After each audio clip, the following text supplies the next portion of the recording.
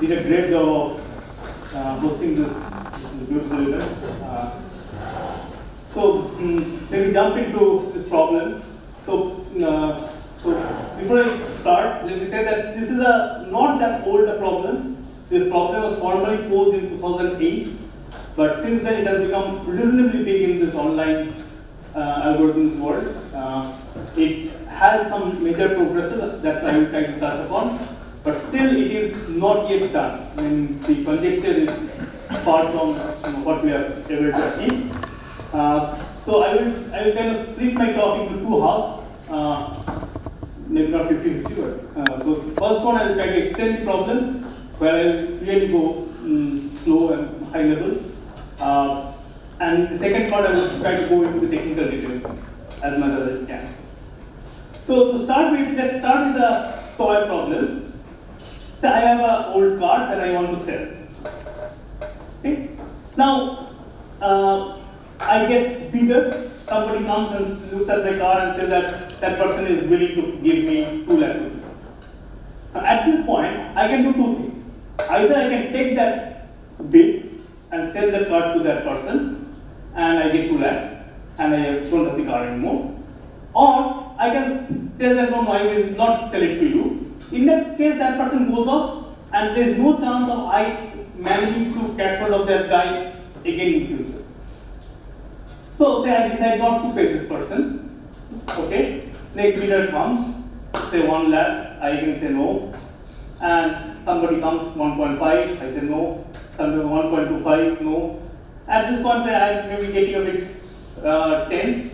So I get someone who is 1.75, which is less than what the initial person had offered, but by the time might might want to just say okay fine.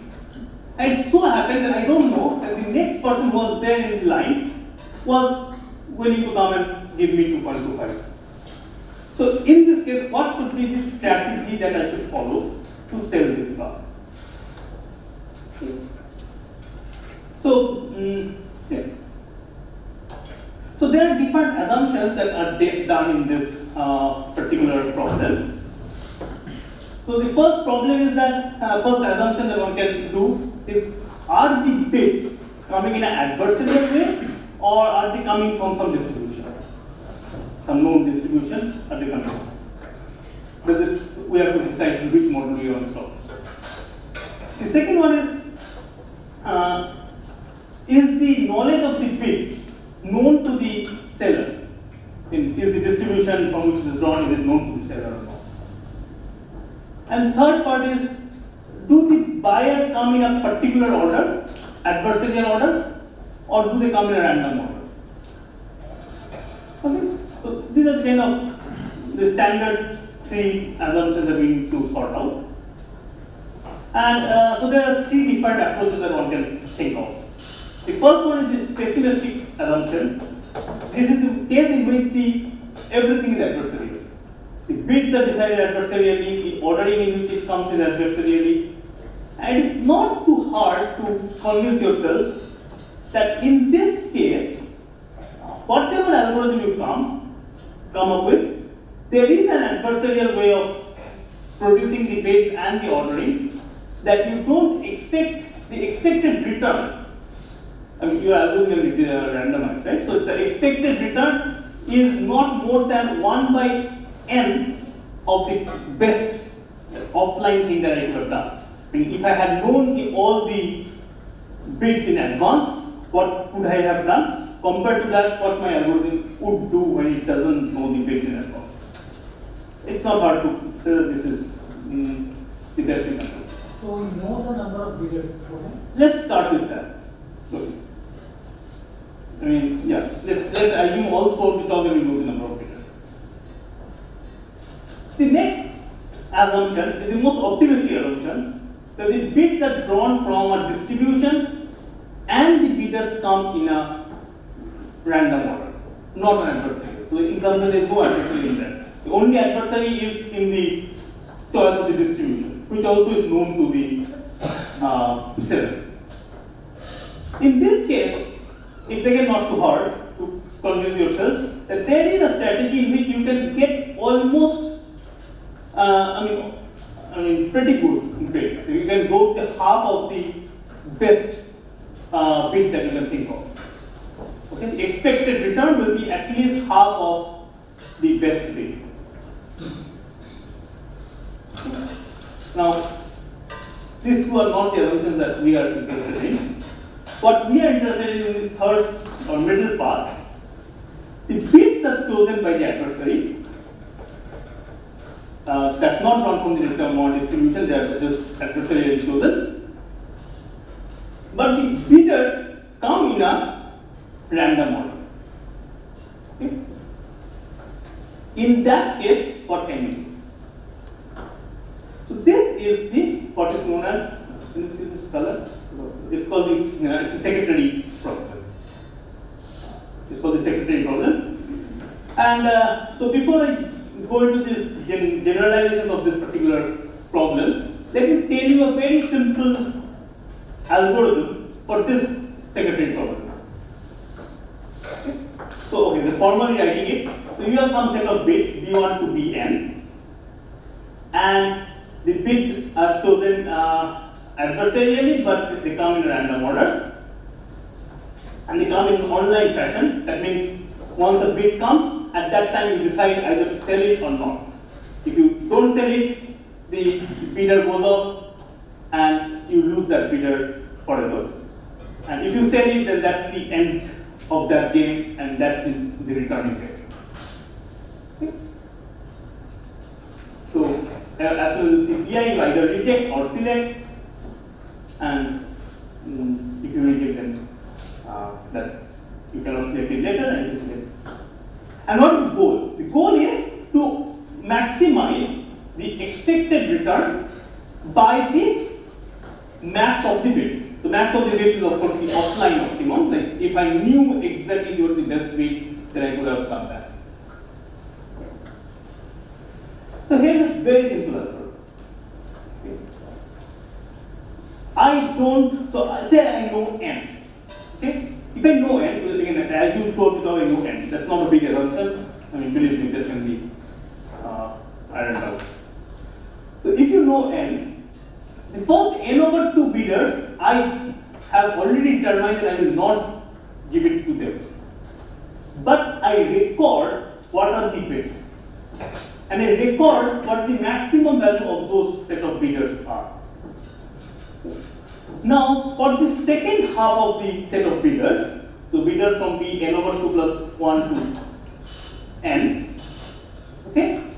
As soon as I see a bidder who is bigger than C, I accept that bidder sell, my to person. Now, since the bids are randomly ordered, so with probability one fourth, the highest bidder among the whole list is in the second half, and the second highest bidder is in the first half. Right? So it is not hard to see that in that case, my C will be the second highest bidder, and in that case, I would have picked up the highest bidder. So my expected returns, I mean, even if we forget any all other returns, uh, all other possible things, but at least for with that much amount of guarantee, we can say that the expected return will be at least more than one fourth of the maximum rate.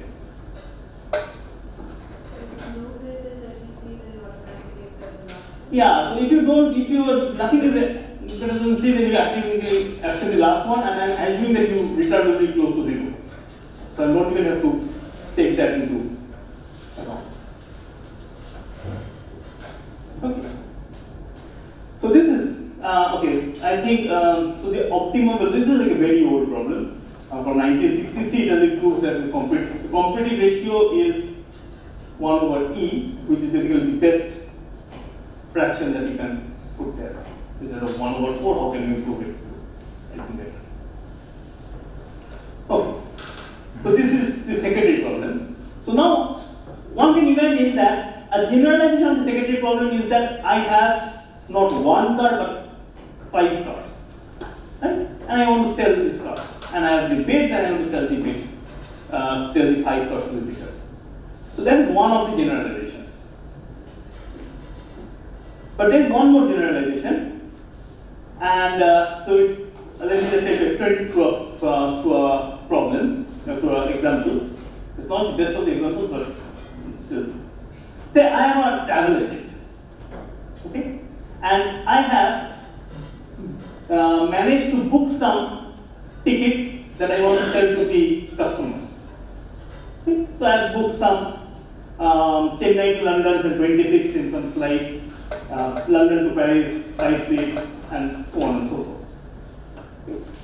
Now, when the bids are coming, say I- I'm kind of doing a bid kind of stuff, the bids can be bit complicated than just a simple one direction flight. It can be something like a person wants to go from Chennai to London or London to Mumbai for $300.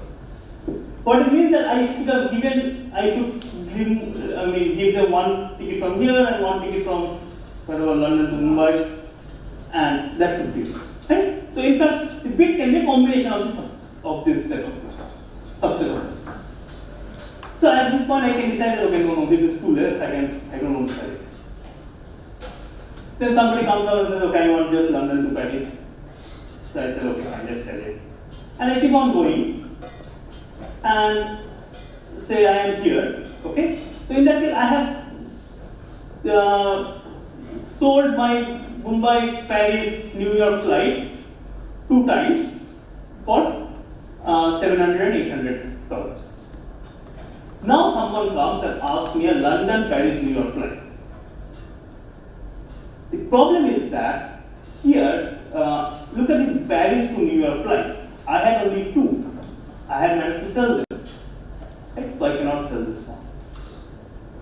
So the main problem is that these three, this one, this one, and this one, are kind of not independent. I, if I sell this one and this one, I will not able to sell this one, and so on. Right? So in this case, I have to say no, and even though this this uh, bid is high, I have to no. Okay. So what is should be strategy for this kind of structure? So just try to um, uh, realize that this is not same as having five cars and selling them. It's a bit more structured here, right? There is a uh, so let me formally define it.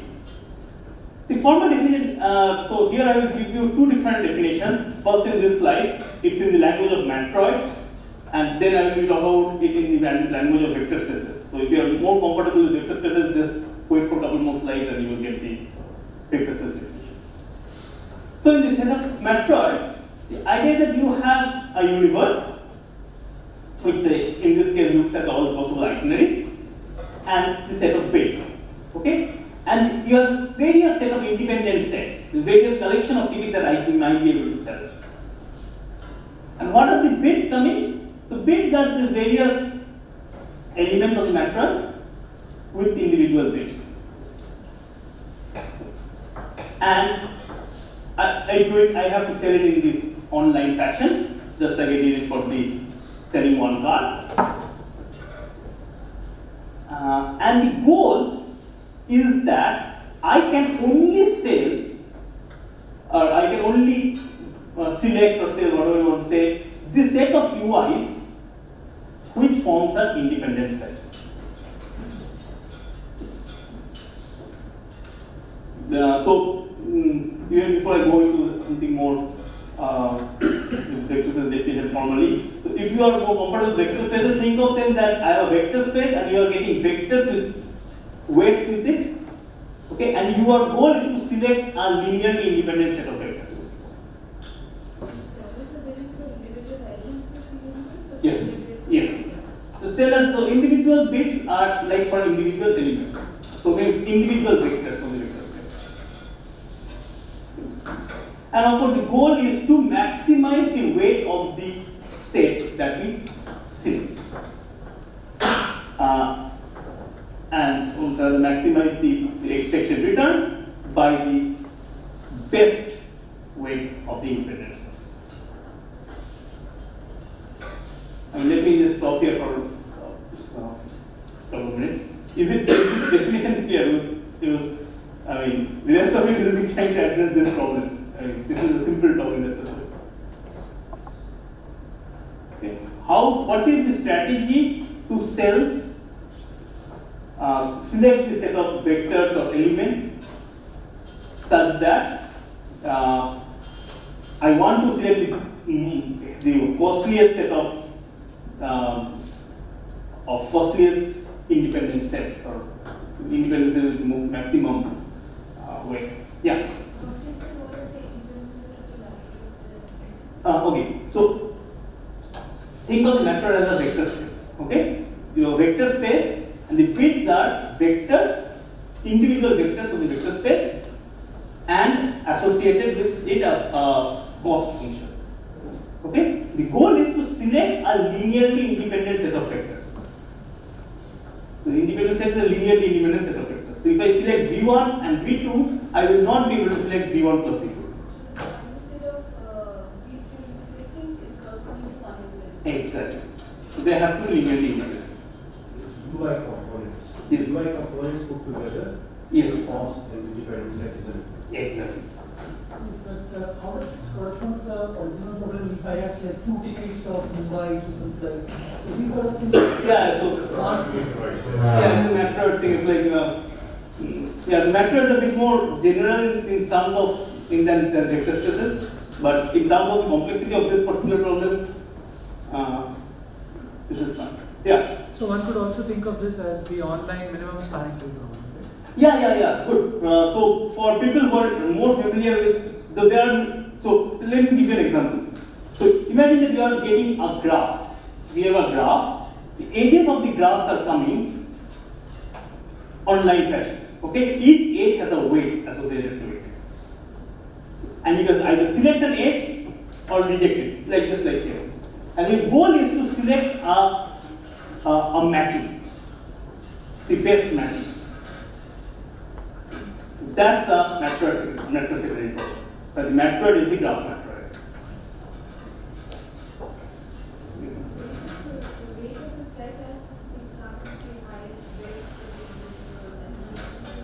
No, no, no, no. Just the weights, not the size weight of this. Yeah. Check. A particular age or particular UI can have occurrences, but I will first take that VI which you have picked up. Is this is clear? Okay, so uh, so let me tell you about what is known about this problem. Uh, so this problem was introduced by Babaioff et al. in 2007 and uh, they gave a strategy of uh, 1 by log d. d is the dimension of the matroid, the dimension of the vector space. Okay. And uh, for spatial, uh, I mean already by the 2008 there was a huge number of results on spatial structure. If you assume the matroid to have spatial structure, like the graph matroid and so on, you had some spatial algorithm. But for the general matroid problem, or the general vector space problem, there was no such, uh, no better, no better algorithm than log d. Okay? The conjecture which was there and is still there is that you should get a constant competitive ratio. So like 1 over 4 in the case of the single car selling, so you should get some constant. So and, uh, in 2012, uh, this was a paper that I had with my co-author lucky, Oded Lachish. So there we came up with a 1 over square root log d uh, competitive ratio. So from log d to 1 over square root log d.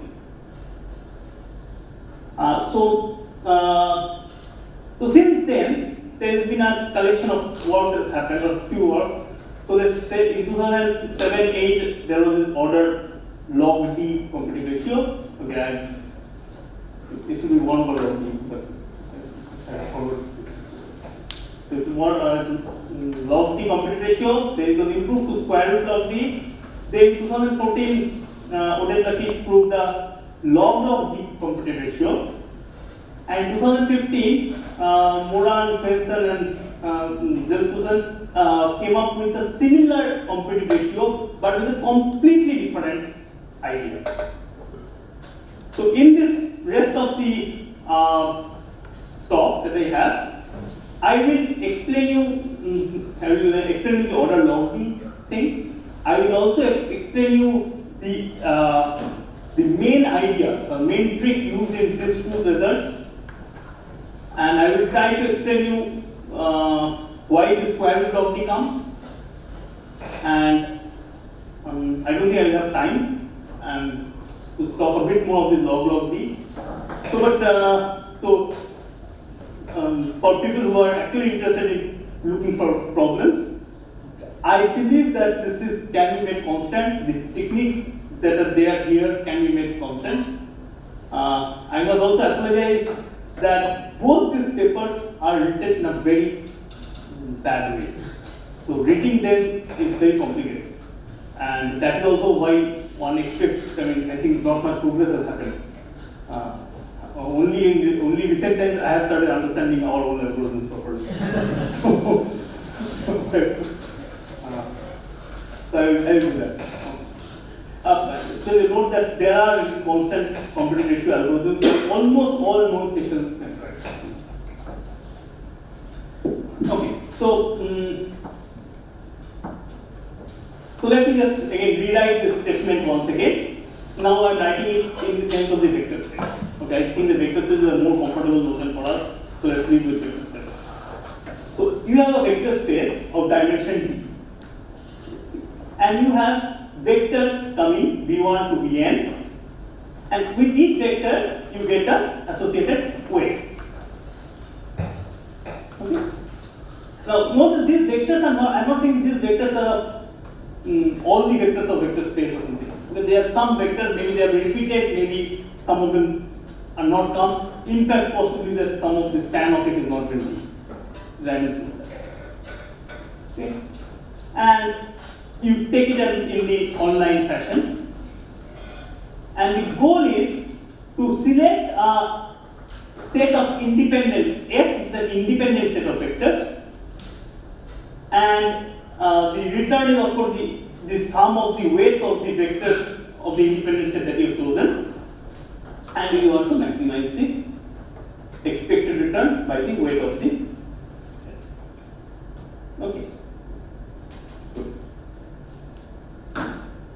So, uh, just recall the uh, the one card selling thing.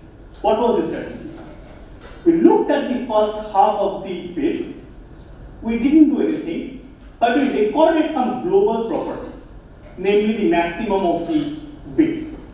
Okay, that helps us to kind of understand how the bits are mm, organized or how the bits are distributed.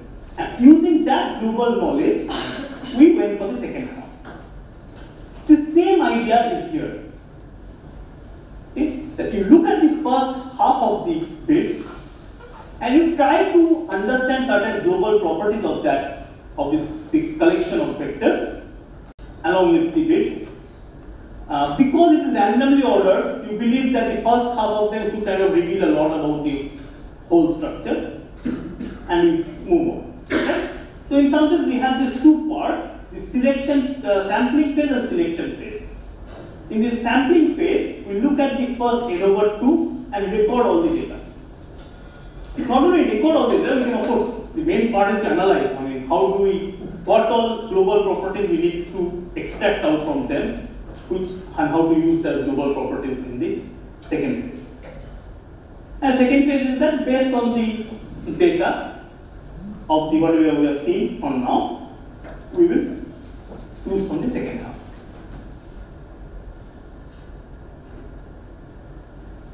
So, uh, there are certain things we will assume about this, uh, how the bits are distributed, that will just help us to get our ideas clear. Uh, and uh, any of these assumptions will only use a few constants uh, in computational.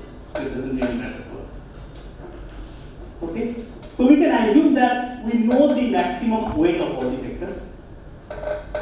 Let's start with that. Also, we will assume that vector vectors can be anything in the rea- in the real world. We will assume that they are something like opt. So let's also we know opt. Okay, so we know the maximum value that we want to uh, find or the target value. So you can imagine that all the weights are of this form. Either they are opt or opt over 2 or opt over 4 and opt over 2 to the power log d. So anything lower than opt over 2 to the power log d has too small a weight to cause any problem to us. So we will not even consider that. No relationship between opt and in. Um, yeah, actually, think of this one M to be opt. Yeah. So I mean, like saying, don't think about those things. Instead, that you let's assume that you know that. Maybe you can also guess them. Okay. So, uh, Uh, write down. I mean.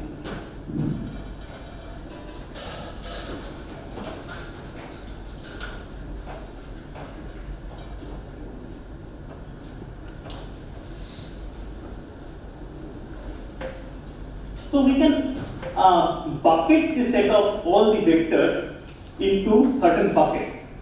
Okay? So say B0 is the set of all uh, vectors i, okay, Vi, such that the weight of the vector Vi is opt over uh, 2 to the power 0.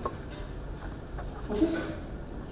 and then similarly Vi is the set of uh, Bj is set of all vectors whose weight is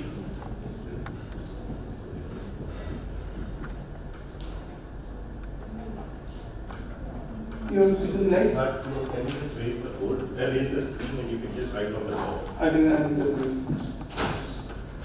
I think can switch off the I think I'm more done with the um, of the case. So the first phase is very essential to get hold of the approximation of the DM. So, so this is the easy part. Okay. Now how much time do I have?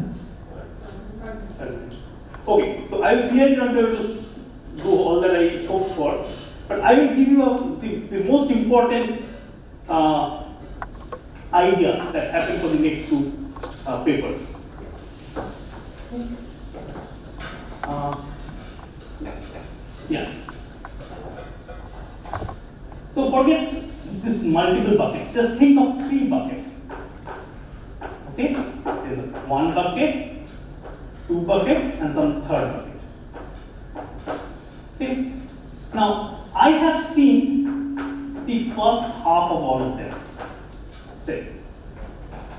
Okay? Now a vector comes here.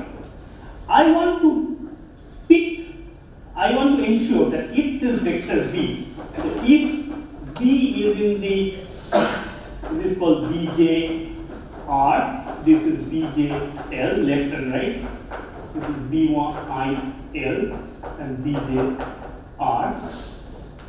Okay, and similarly here we have two things. My idea is that if a vector comes with, from a much lower bucket, and if this vector is in the span of bjr, okay, I don't want to pick v.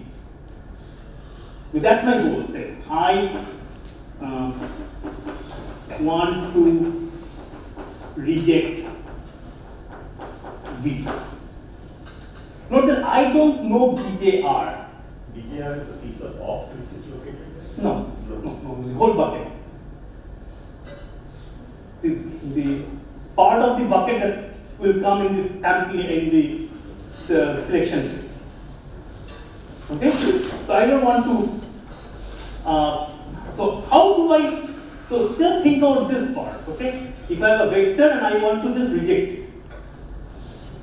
So natural first attempt can be that okay, if this vector is in the span of this, which I have seen, so if V is in the span of VJL, then reject V. So idea is that if V is spanned by BJL, you would like to believe that V is also spanned by VJR. Or vice versa. If V is spanned by VJR, it is also spanned by VJL. But uh, note that this is wrong. This is not true. Just think of this Vj as all of them are linearly independent vectors.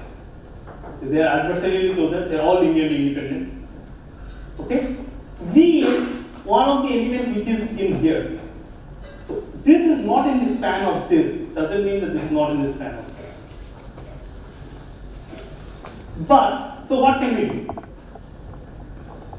So, now say here Bj, so, so let's say another possible case, okay?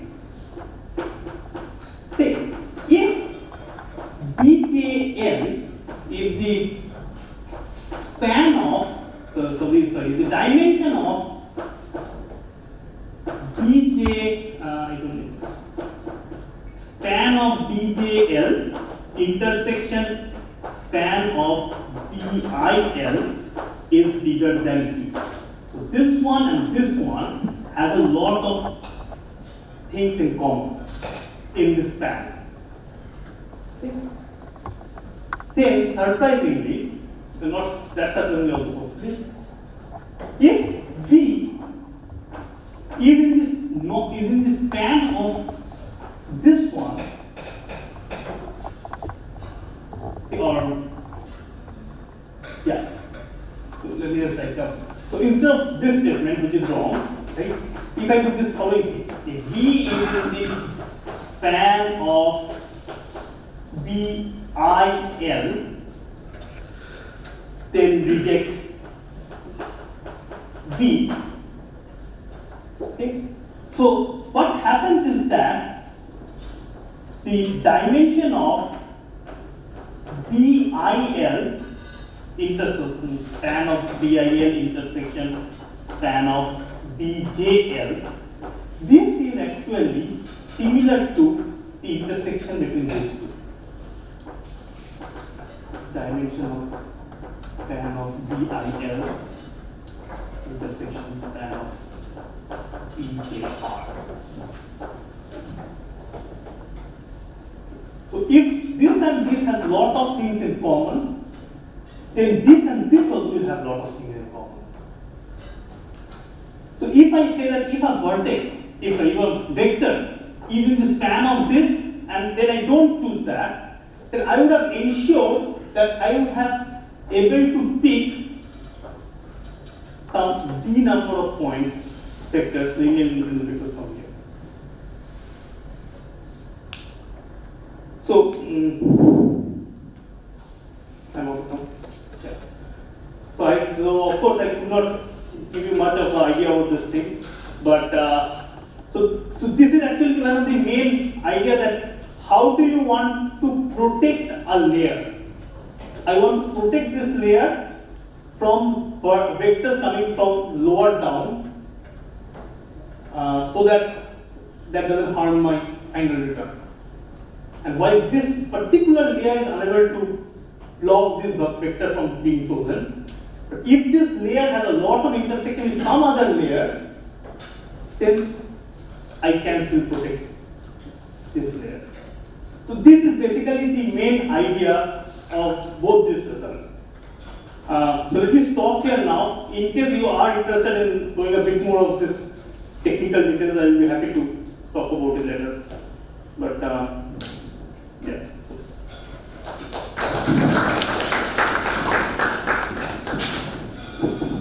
Any questions? All right, like you said, we can continue the discussion over the evening, that's fine.